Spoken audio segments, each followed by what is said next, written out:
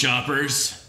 How's it going? Welcome to the Garage Sale Network. Network, network. I was just thinking echo there. I'm Steve, And I'm Reggie. We're hoping to get a graphic kind of right in here. but just in case, Well, I made I made this.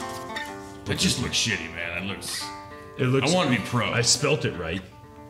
Uh, I think you're really gonna like this. Uh, people's, you know, your luck can run dry.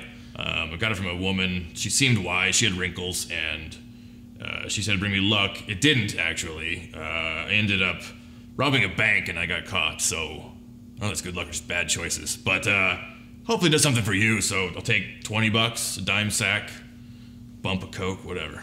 I brought a one-armed bandit. This is from Las Vegas. I used it a lot uh, when I wasn't able to go to Vegas.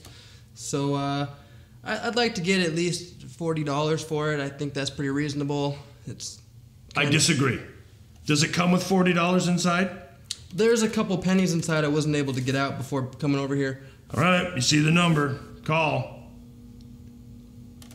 Welcome back. I don't know why you're watching this and all. Tilda.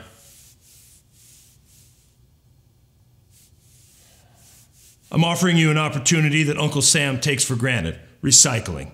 You can buy my recycling and take the middleman right out of it. You buy it from me, then you take it in and you sell it at a profit.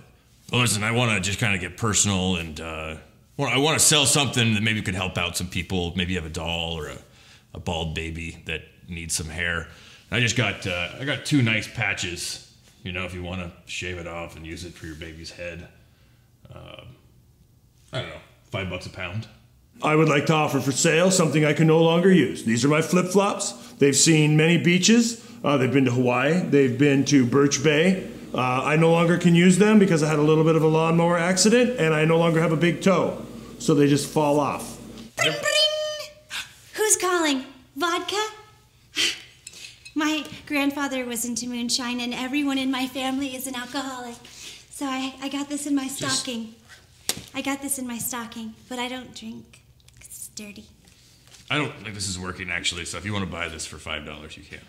We got two items in this lot. Uh, we got uh, a pair of tongs right here. Now these are plastic to made look like stainless steel, as strong as stainless steel. This is Doyle Brunson's Power Poker. That's how you play poker, So, and that's how you grab a poker book. wow. What we have for you here is um, uh, a, a lot of diverse dolls, special dolls. um, they're special for many ways. Um, high five. High five. Mine pee.